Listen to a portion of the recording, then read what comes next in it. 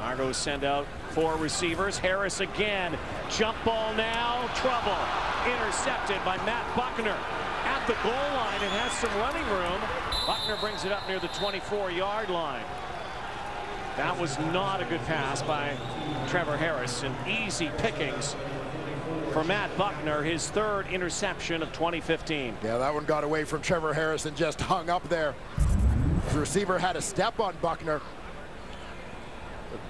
The defender was in position to recover, as you saw as the ball hung up.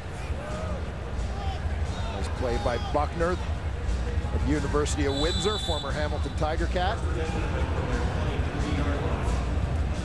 Guy who's made an impact not only on the field, but off of it for the Bombers in terms of his community service in Winnipeg.